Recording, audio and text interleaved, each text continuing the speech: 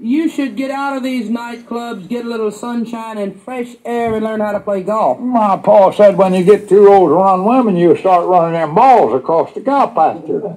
Now, he may have been smart, but he wasn't that smart. How you doing? Well, I'll tell you what little bit I know about playing golf, and then maybe you can learn. Oh, hell yeah. Now what? Well, first you have to have your golf bag, your golf balls, and your golf clubs. You do have your bag, balls, and oh, clubs. Oh, hell yeah. I got out of the service for that much anyhow. You go out to the golf lane. I do? You pull the zipper down on your bag, you take your ball out, and you drop it on the ground. God damn, woman, when that did it dirty? That doesn't make any difference because if it gets dirty, there's a little steel brush there and you brush it off. That sounds like a rough damn game to me. I'll tell you that right now. Now what I do? You tee off in front of the clubhouse. Why can't you go around behind in the bushes? What it can't You want the people to see you, you idiot, so they'll cheer you. do? They wouldn't cheer me. They'd boo the living hell out of me. I'm sorry. First you take your tee. What's your tee? Your tee is that little white thing about that long. God damn, I got that all right. He wasn't that big when I was in Alaska, though. They're the same anywhere. Yeah, well, you put it 15 below zero and it'll shrink the living hell right out.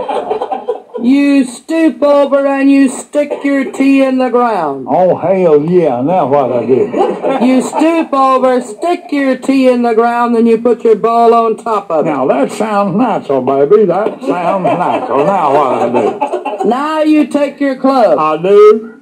By the way, how do you hold your club? Like the boys in Louisiana, I had to get it between my thumb and my... None of your damn business how I hold my club.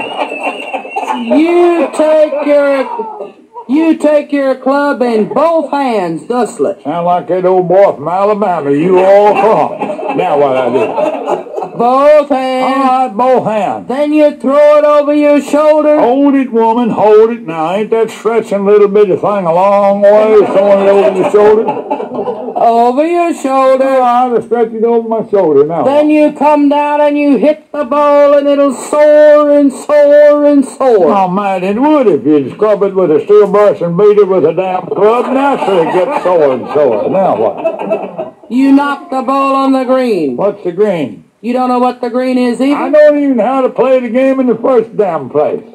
The green is that great big smooth patch with the little bitty hole in the middle. Oh, I'm a hog about that hole in the middle. I may be too old to cut the mustard, but I love to mess around them damn patches, I'll tell you that. Now. You pull out your putter. what's my putter? Your putter happens to be the shortest club you own. Look at me, baby. Look at me. You're looking at me now. I'm in the game now. What I do? You take your putter I do. and you knock the ball in the hole. I want to put my putter in the hole.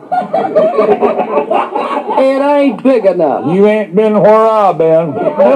There's just one more thing I'm going to tell you. What's that? And maybe you can talk intelligently about it if nothing else. Oh, hell yeah. Oh, now what I do? At the end of that 18th hole, Yeah. there's a little red flag there and that tells you that the game is over. You can move the red flag to the second hole, because after the first hole, I'm a dead pigeon anyhow. Damn red flag.